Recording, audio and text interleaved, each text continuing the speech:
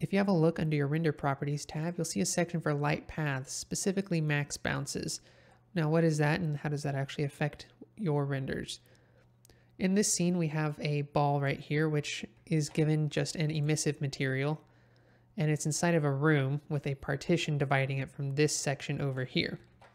So if we take a look at the rendered view, right now I have the total max bounces set to zero. So what that means is all of the light that is being cast from this ball is hitting whatever surface it comes into contact with and stopping there. It's not bouncing around and say going over here, bouncing, hitting the floor or anything like that. It's just hitting a surface and stopping. As a result, the second partition over here, this little room, is completely black because no no light can directly go from here into this section. And since it's not bouncing, it's not able to say hit the floor and bounce back this way either. So we can increase the total bounces and suddenly you can start see getting a little bit of detail in here. And this is just with one total bounce. So that means light may be going over here and then hitting this wall over here and then it's stopping. It's not bouncing and hitting that wall. Maybe it's coming over here, it's hitting this wall over here, then bouncing off into that wall. If we increase it further, we get progressively more light. It's hard to tell with all of the noise that naturally comes with a cycles render, but it, it does get a little bit more if we can. Let's actually, right now, let's take this right here. If we go into the camera view, you can see if we take it all the way down to zero bounces. Here we are again. It looks black. Increase it to one bounce. You get a little bit of light there. So let's actually take that and do a real quick render. All right, so I finished rendering a few different versions of this. This is the one we just did uh, with one max bounce allowed. And then if we bump it up to two max bounces, you can see it gets a little bit brighter over here. And actually this, this side of it also gets brighter. And then we bump it up to five, more bright as well. It's starting to get a little bit noisy, uh, but as you can see, it does allow for increased brightness because what happens in the real world, you're not going to have a limited number of bounces like this. You're not going to get just five bounces. What's going to happen in the real world is it's going to bounce and then it's essentially just going to keep going in whatever direction the light takes it until it eventually reflects so much that it loses all energy and does turn into black. But computers cannot do an infinite number of calculations. So as Blender artists, we have to choose what level of realism we're willing to go for. Because going from uh, one one max bounce, you see it has a render time of eight seconds. Each time you increase it, you increase from one to two, it more than double. It pretty much doubles. Go from two to five, it increases a little bit more. At that point, we're getting more into the noise threshold side of limiting factors here. But point being, the more you increase the number of bounces, the longer your renders are going to take, but the more realistic it is. And that, like always, it's always a trade-off between true photorealism and uh, good good rendering times. So that leaves us with whatever these other sections are. We have diffuse, glossy, transmission, and volume. All right, so these next five sections are essentially limits on specific types of light bounces, and this could be very useful depending on the type of scene you have. If you have a scene with a lot of glossy surfaces and their reflective surfaces, you may be able to play a little bit with that value and get a better rendering performance and not sacrifice a whole lot on photorealism. Same goes for diffuse transmission volume and transparent. Most of the time you can leave these settings as is, but let's just take a look at how they actually affect what you're doing. So here we have the exact same scenario, but the room is just a diffuse BSDF. I switched it from the principled BSDF to just diffuse. So let's take a look at how that affects what we're doing. So if we take it down to zero total bounces, we end up with the same situation. It's well lit on one side and completely black on the other. We take it up to one, it's the same result as we had before. You know, this, this right here, it's the same. But then if we actually start increasing the total bounces right now, since our diffuse is set to one, what you're going to notice is that no matter how many times we increase this, no matter what value it is, it's going to look exactly the same. And that's because the only type of bounces that are happening in this particular scene right now are diffuse bounces since our little room is made out of a diffuse BSDF. So the only way to actually get more bounces is by increasing it on the diffuse specifically. So in other words, between these two in this particular scenario, it's going to be whichever one of these is lowest is going to be the limiting factor because after all, if we increase this back to its default value of 4 and take it down to 0, it's still going to follow the same behavior as we had before. So it's going to be whichever one of these is lowest is going to give you your limiting factor and determine what gives you the most realism. So then we can take a look at the glossy. We switch this over here to a glossy BSDF. First of all, that's really rough. So let's change that. Just make it a little bit, you know, rougher like that. A little bit. You can still see how it behaves as a glossy surface when we have it like that. Let's take it all the way down to zero. What do we got? Total total bounces are zero. So whatever you see, it's gonna go from this ball right here. It's gonna hit the surface and bounce off directly into the camera. A glossy surface is a lot more reflective. If we increase the total from zero to one, we're starting to get some of that behavior where it's lighting up this section of the of the room. We're getting a little bit of lighting in there. Increase to two, and so on and so forth. We get there.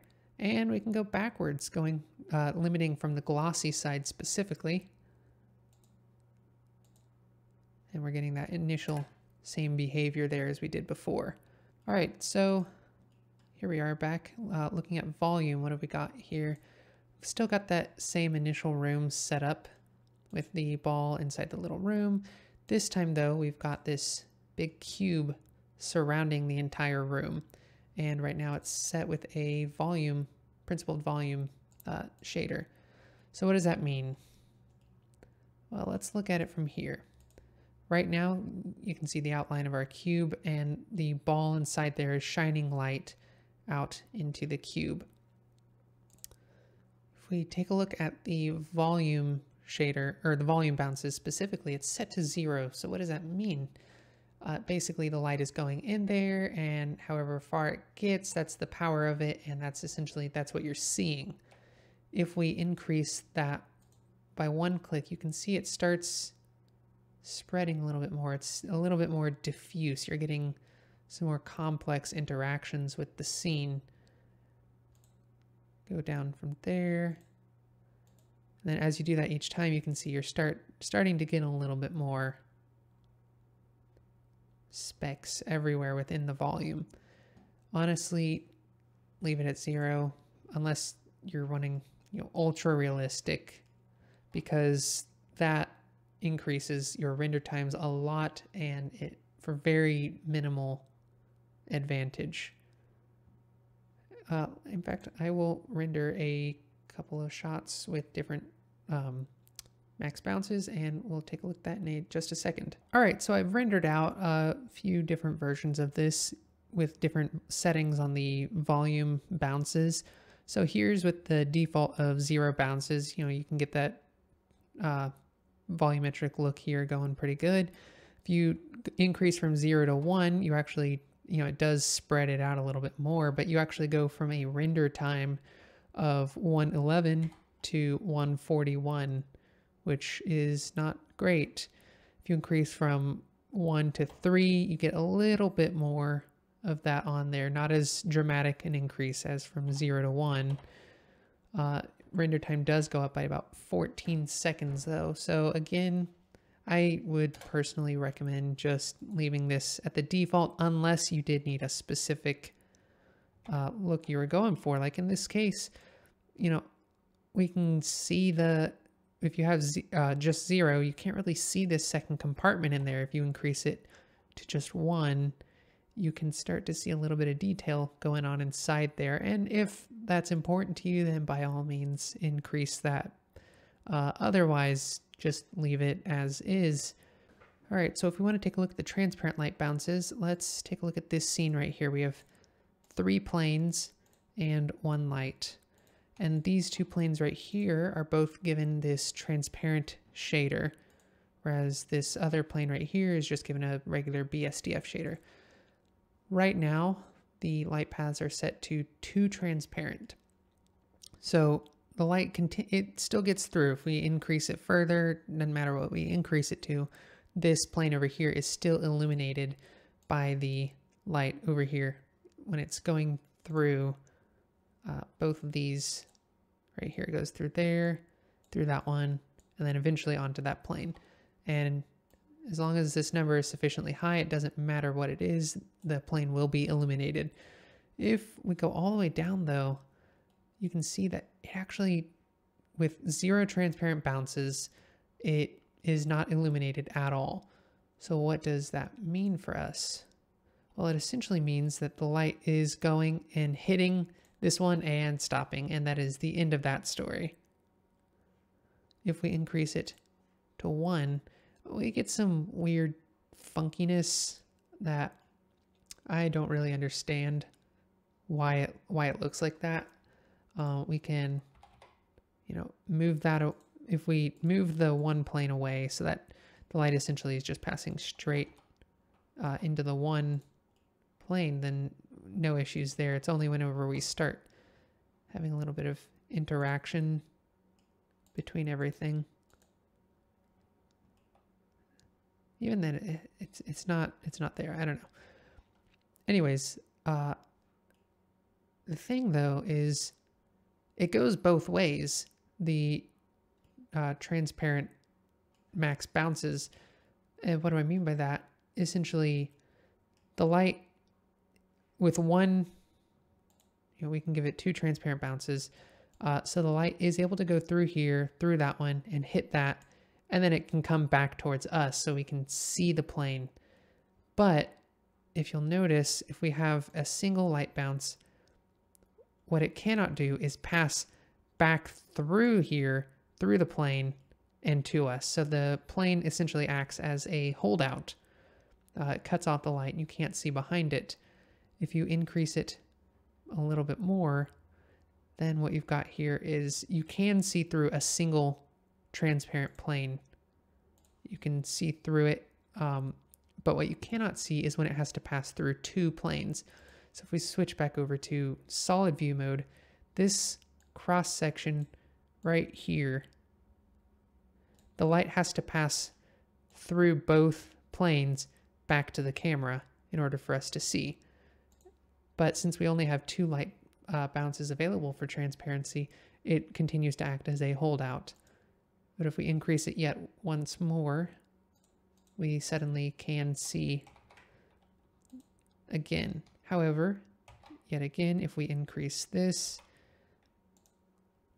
if we have instead three planes that it has to go through. If I could,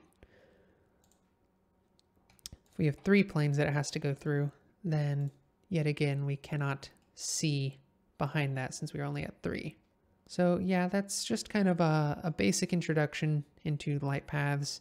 Just figure out what works for you and what settings you have. Most of the time, the default values are fine. Uh, they give you reasonably good performance and pretty good realism. I wouldn't change them unless you're doing like an animation or something that requires you to have or squeeze as many seconds out of your renders as you can. Uh, otherwise, leave it all the same, and I'll see you on the next video.